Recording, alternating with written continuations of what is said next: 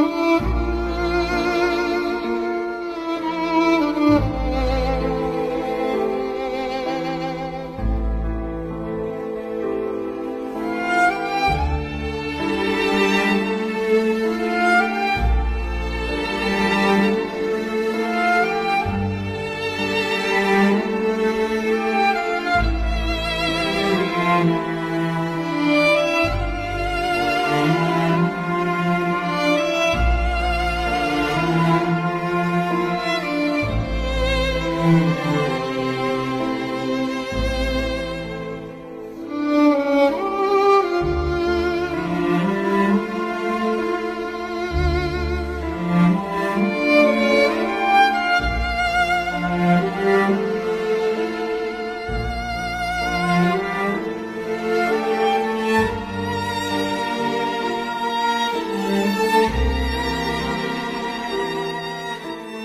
विषय लिएर है र तपाईँहरूले न्यायको लागि के भन्नुहुन्छ? ज्यू हामीले अस्ति पनि भन्यौँ कि जुन प्रशासनले यो उहाँहरूको काम द्रुत गतिमा नै गरिरहनु भएको छ हामीले देखिरहेका छौँ है। सबै अफिसेसहरू यहाँ झर्दै गर्दै गर्दैन आफ्नो काम गरिरहनु भएको छ। र हामी बिजनबारी सिटिजन फोरम लगायत बिजनबारी सम्पूर्ण वासी चाहिँ के भन्न चाहन्छौँ भने उहाँले न्याय पाओस्। जसले अपराध यो जघन्य हत्या गरेको छ उहाँलाई सजाय होस्। र यसमा हामी सम्पूर्ण बिजनबारी वासी वासीको पनि एउटा कर्तव्य रहन्छ कि प्रशासनले जुन चाहिँ यो प्रो प्रो जुन चाहिँ इन्भेस्टिगेसनको कार्यक्रम गर्नुहुँदैछ त्यसमा हामीले पनि उहाँलाई मद्दत गर्नुपर्ने मलाई लाग्छ। हिजो जुन चाहिँ हामीले एउटा प्रतिवाद एउटा र्याली जस्तो निकालेको छौँ बिजनबारी भेगमा हामीले पोस्टरिङ पनि गरेको थियौँ है।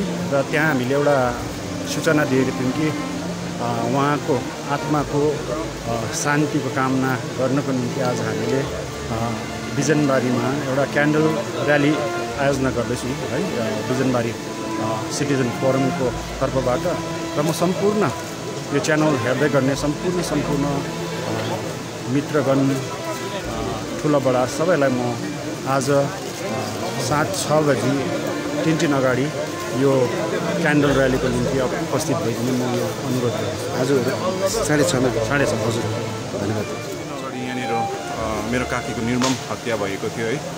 यसको छानबिन र केस चलिरहेको छ है।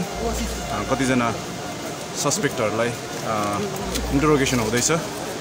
र प्रशासनले पुलिसले यो केसलाई चाँडैभन्दा चाँडै सल्भ गरिदिनुहुन्छ भन्ने म आशा पनि राख्छु है।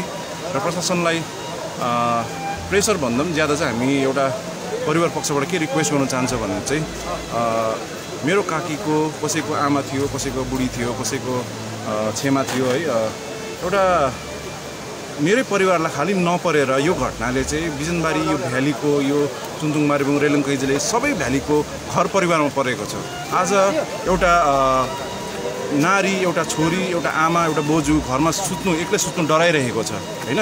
यसले गर्दाखेरि चाहिँ प्रशासनले अगर यो केस सल्भ गरेर दोषीलाई कडाभन्दा कडा सजाय दिएर अगर हामीलाई एउटा न्याय दिन्छ भने चाहिँ हामीलाई मात्र होइन यो यो जति पनि यो खबरले यो दुःखद खबरले एफेक्ट परेको छ सबलाई न्याय हुन्छ।